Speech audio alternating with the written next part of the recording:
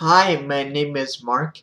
I want to explain a misunderstood issue that most ataxians have trouble with. That issue is swallowing. You may wonder, however, how swallowing relates to coordination. Let's step back a bit.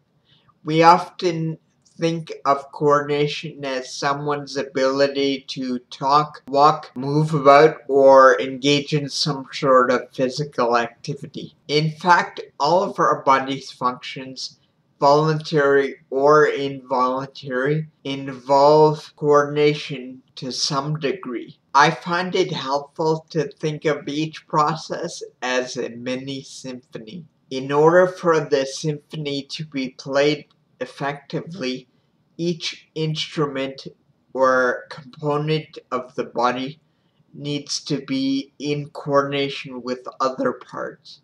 They all have to work together to accomplish a common goal, whether it be throwing a baseball, whether it be dancing, or what whatever, or in this case, swallowing. With this in mind, Let's take a closer look at how swallowing is done. There's this neat little flap in the back of your throat known as the epiglottis.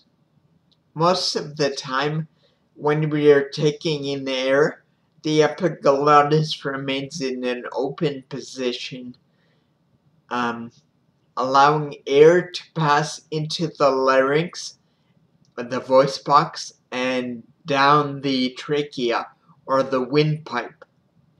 When we are eating or drinking, the epiglottis moves into the closed position, covering the larynx and allowing food to be transported, food or drink to be transported down the esophagus. This involves coordination between the brain and the epiglottis and all the different systems in between there.